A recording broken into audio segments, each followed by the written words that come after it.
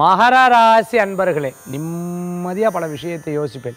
பார்த்து பண்ணுவோம் நிதானமாக செய்வோம். ஏன் இவ்வளோ அவசரப்படுறோம்? அப்படின்னு யோசித்து செயல்படுவேன். கொஞ்சம் ரெஸ்ட் எடுத்து ரெஸ்ட் எடுத்து ஒவ்வொரு காரியத்தை பண்ணுவேன்.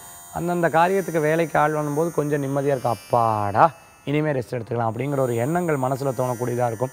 இருந்தாலும் யாரையும் எப்பயும் நம்ப முடியறதில்ல அப்படிங்கிற ஒரு எண்ணங்களும் உங்களுக்குள்ளே தோணும். மாரராசி என்பர்களுக்கு இன்னோவேட்டிவாக நிறைய காரியங்கள் எடுத்து பண்ணுவேன். ஈவெண்ட் மேனேஜ்மெண்ட் பண்ணுறவாளுக்கும் சரி அதே மாதிரி புது புது பிஸ்னஸ் சம்பந்தமான விஷயங்களை பற்றி பேசுகிறவாளுக்கும் அனுகூல்யம் தரக்கூடியதாக இருக்கும். இந்த தினத்துக்குண்டான எல்லா காரியங்களும் வெற்றியை தரும் அதிர்ஷ்டம் தரக்கூடிய அற்புதமான எண் ஒன்பது நிறம் நீலம். வழிபாட்டுக்குண்டான தெய்வம் குபேரர் வழிபாடு வெற்றி வழிபாடு.